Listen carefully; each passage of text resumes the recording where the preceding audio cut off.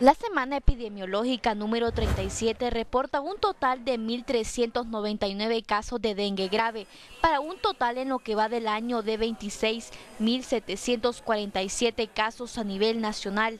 Pese a los esfuerzos que han realizado instituciones, la enfermedad avanza.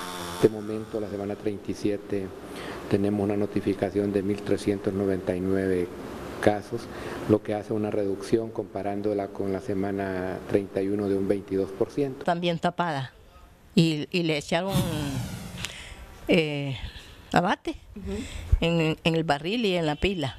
Autoridades sanitarias confirmaron la víctima 25 por dengue grave. Se trata de una mujer originaria de El Paraíso que ingresó a la sala de emergencias y fue tratada en la unidad de medicina interna. Eh, tenemos eh, la notificación de una paciente de 34 años eh, que viene de Yuscarán, El Paraíso, la cual ingresó a nuestro hospital en la emergencia de medicina interna con diagnóstico de dengue.